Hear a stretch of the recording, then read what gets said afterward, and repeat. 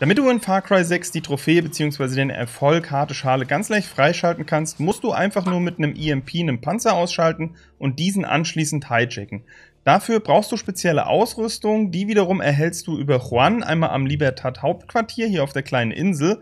Dort reist du jetzt zunächst erstmal hin, im Vorfeld solltest du allerdings ein bisschen abgereichertes Uran mit dir rumtragen, weil wir zum Beispiel für den Supremo, den wir hier gleich kaufen werden, oder aber für die Impro-Waffe einfach ein bisschen abgereichertes Uran brauchen, um diesen Waffen oder diesen Supremo einmal zu erhalten.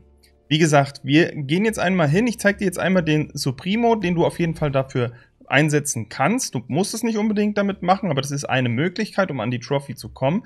Und zwar ist das einmal der Supremo Volta und hier siehst du auch in der Beschreibung, der hat diesen EMP-Impuls. Mit dem kannst du das auf jeden Fall machen. Oder aber du nimmst dir einmal die Impro-Waffe Zeusito.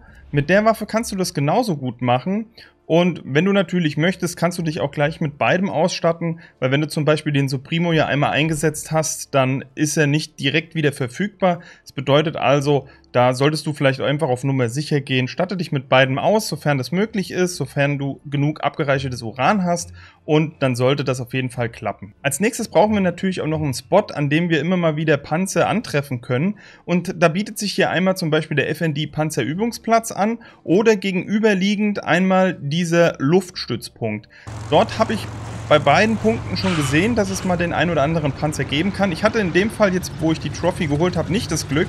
Allerdings auf der Verbindungsstraße zwischen dem Übungsplatz und zwischen dem Luftstützpunkt, da fährt auch immer mal wieder ein Panzer lang und hier siehst du einmal, da hatte ich das Glück, dass hier auch wirklich eine erschienen ist. Wie gesagt, ansonsten fahr einfach diese Straße hoch oder runter und dann sollte da auf jeden Fall auch irgendwann mal ein Panzer bei dir erscheinen. Als nächstes war es jetzt wichtig, uns einmal mit der Zollsito Impro-Waffe hier auszustatten und dann entsprechend nochmal auf den Panzer zu schießen. Du siehst jetzt hier, der Impuls der Waffe hält nicht wirklich lange an, deshalb habe ich dann als nächstes nochmal drauf geschossen, um dir auch einfach zu demonstrieren, dass du zum Beispiel mit der Zollsito natürlich immer mal wieder dann auch auf den Panzer schießen kannst. Oder aber du setzt einmal den Supremo Volta ein mit L1 und R1 auf der Playstation und dann bleibt der Panzer auf jeden Fall auch stehen. Als nächstes musst du nur einmal auf den Panzer draufklettern, drückst dann hier oben nochmal R3 auf der Playstation, um hier den Panzer einmal zu hijacken, setzt dich rein und anschließend sollte die Trophy erscheinen. Ich hoffe, mit dem Video konnte ich dir weiterhelfen. Falls du weitere Guides suchst, schau gerne mal hier in der Playlist vorbei.